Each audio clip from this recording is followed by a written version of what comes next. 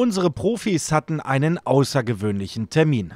Roman Neustädter und Dennis Aogo haben sich bei der Lavia Familientrauerbegleitung mit Kindern und Jugendlichen getroffen, die nahe Verwandte wie zum Beispiel die Mutter, den Vater oder die Geschwister verloren haben. Ich glaube, es waren sehr tiefgründige, sehr persönliche Gespräche, ähm, die einem oder mir persönlich ähm, natürlich viel mehr geben als ähm, so die typischen Fußball- und Sportler-Interviews.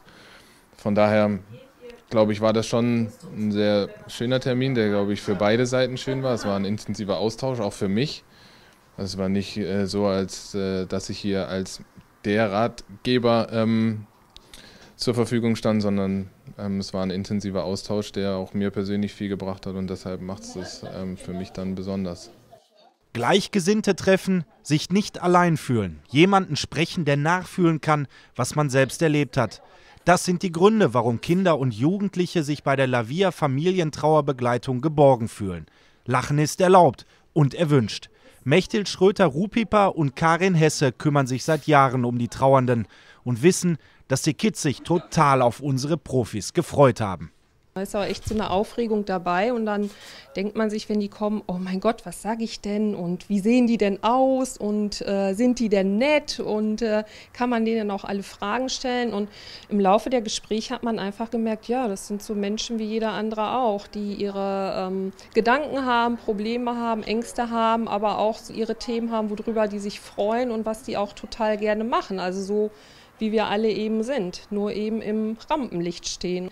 Je mehr man auch gesprochen hat, umso mehr ist auch an Fragen gekommen. Und äh, deswegen merkt man auch, wenn man so in die Gesichter von den Kindern geguckt hat, oh Mann, ähm, die haben ja ganz schön viel zu erzählen. Und in manchen Erzählungen, da finde ich mich auch einfach wieder von meinen Gefühlen her. Der Tod ist ein Thema, über das man sich in der Gesellschaft kaum unterhält. Aber es ist leider eine Sache, die uns begleitet.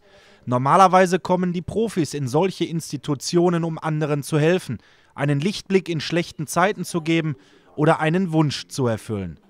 Heute war es so, dass allen geholfen wurde und jeder Kraft aus diesem Besuch gezogen und mitgenommen hat. Hier hat man aus unmittelbarer ähm, Nähe Eindrücke bekommen, wie man damit umgeht, wenn das in unmittelbarem Umfeld passiert.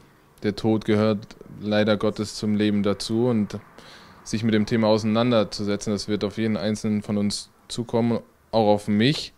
Ist es auch schon, aber nicht so nahe, wie es hier in den meisten Fällen war. Und deshalb ähm, kann man da natürlich viel Kraft, viel, vieles für sich selber auch mitnehmen.